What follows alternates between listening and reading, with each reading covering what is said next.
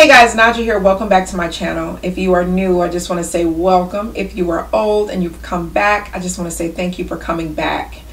Guys, today I am going to be quick. Hopefully, I'm going to be quick.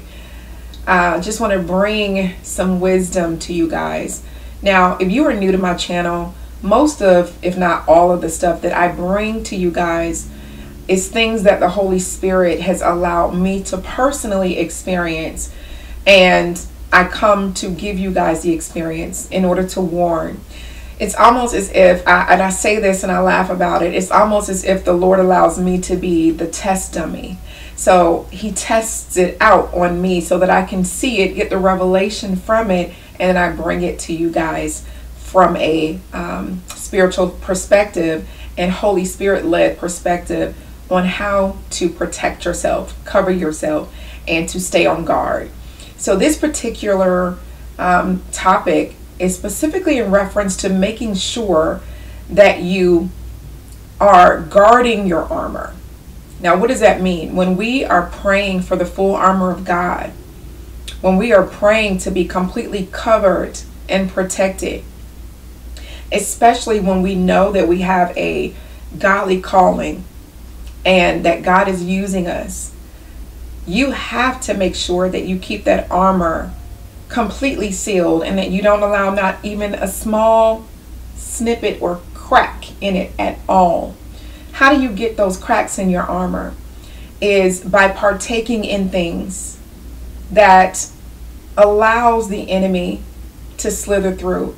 Partaking in things that do not represent Christ. Okay? So for example, if you are fully armored and then by the end of the day, you are enticed by something. And before you know it, you end up masturbating. You've now created an armor, uh, a crack in your armor. Okay? If you,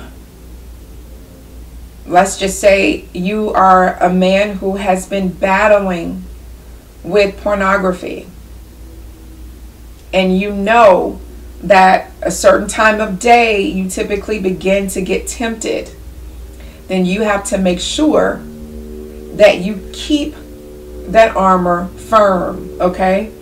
You cannot allow yourself to be tempted. And see, the thing is this the reason that this is important to know and understand is because, yes, we're not perfect right? We're not perfect. We're going to slip up at times. But when we slip up, for some of us, not all of us, there is warfare that's going to come after us because that crack has been created within your armor. So, just to give you an example of what happened to me, okay, because of what I do, because I am putting myself out there on the forefront, you know, on the front lines. I do deliverance. I'm speaking against witches. I'm speaking against witchcraft and wickedness. The enemy has his agents that can't stand what I do. Okay? So you guys see this this part, but you don't see what happens behind the scenes in the spirit. You don't see the things that I that other like myself and other people like myself go through in the spirit because of our willingness to be on the front lines of this spiritual war. So it is very important that people like myself make sure that we keep ourselves covered and protected. And if we don't, then we open ourselves up to spiritual attacks. So there was one night that I was watching television, I was watching Netflix, and there was a movie that had just come out on Netflix. This Netflix movie, literally, the Holy Spirit from the beginning had told me, you shouldn't be watching this. All right. I, I, I will admit, I ignored it because I'm like, there's nothing happening. This isn't, you know, this isn't, there's nothing about this. So I just keep watching the movie. I don't even remember the name of the movie. But the movie was about, you know, a, a couple who were it was like trafficking. They would they stole these two children, brought them into this house, and one of the children was actually one of the children they brought.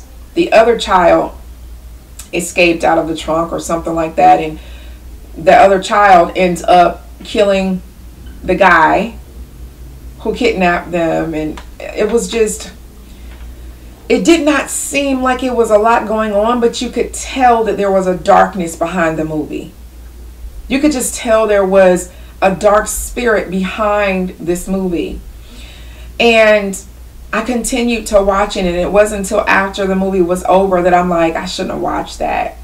I shouldn't have watched that. But by then it was too late. I even repented. I said, Lord, I repent. Please forgive me for being disobedient and watching this movie. So I end up getting attacked in my sleep or in my dreams. Yes. I fall asleep and all I remember is sitting at a table. There is me and my child sitting at a, t- at a table, and there is a woman that I know. It's, it's so weird. There was a woman that I know that's sitting on the other side of the table, but yet she was invisible. I couldn't see her, but I knew she was there. There was a book and it was almost like her picture or something was in the book and in the dream i take a pen and i start scribbling on her face and i said this is a witch and i'm scribbling on her face the moment i start scribbling on her face is when i feel the sleep paralysis come over me and i'm literally in the dream trying to make my hands come around her neck and choke her but i couldn't okay and i start praying in tongues in the dream. All right, and it and it released me. See what people don't recognize or realize is when you're in a position like myself or even if you're not in a position like myself but you just have a calling on your life and so the enemy has agents all right lined up to send attacks your way all right you don't have to be in ministry for crazy people being used by Satan to try and send things to you. All right. And so, what God showed me was in the spirit that there was a backlog. Okay. There is a backlog of attacks, a backlog of incantations, a backlog of things people have tried to send that He has been blocking. But when you create even a small crack within your armor, one of those attacks can try to slither right in. Okay, it tried to slither right in. And it's not worth it. I mean, just imagine that. Imagine there being a literal backlog of all these attacks of the enemy that are just being sent but being blocked. Okay, imagine a wall right here, and all of these attacks or all these.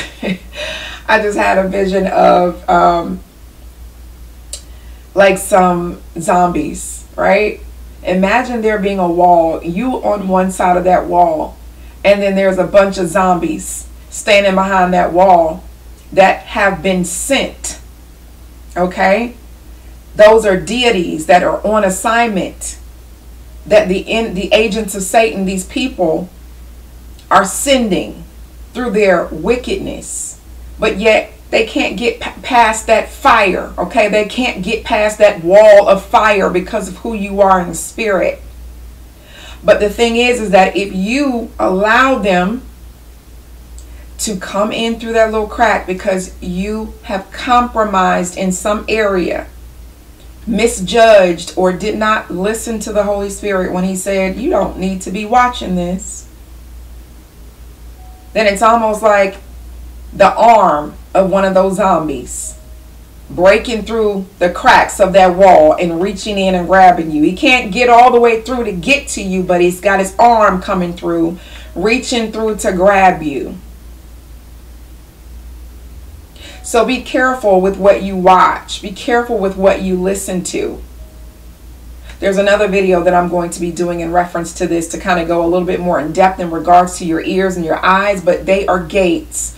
And the gates are portals, which is an opening. So, whatever it is that you're listening to, whatever it is that you're watching, there is a spirit that is behind whatever it is that you're watching or listening to. The same way that when we worship, we know that the spirit that comes through that portal and that comes through that door is the Holy Spirit. When we are singing things that are secular or that did not come from the Holy Spirit, there's a different spirit that is behind that music. And so when you begin to sing it and listen to it, okay, you don't even have to sing it. When you're listening to it, these ears they're open, right? So there's an open door, an open portal for whatever spirit is operating through what you're listening to to come right on in and attach itself to you. So you must be very careful with what you watch. I've had another situation where um, this was before being born again, several years back, maybe seven years ago. I fell asleep to watching American Horror Story. I used to be someone that loved horror movies. I loved the the the scarier the better. Okay? Thriller and horror movies were my thing since I was a child.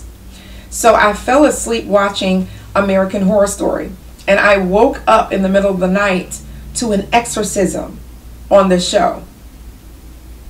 Do you know that that television literally is a portal. So even when you are sleeping, you are opening up things into your home by them coming through that television.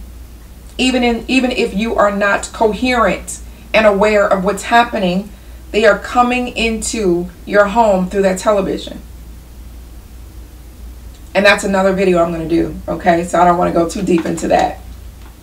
But that particular situation had me with a a uh, what what is the word? There was a demonic presence that was in my home that was there for an entire week.